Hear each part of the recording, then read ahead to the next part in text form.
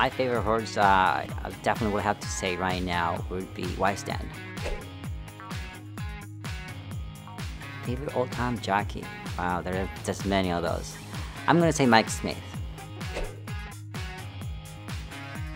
Oh, wow, winning races.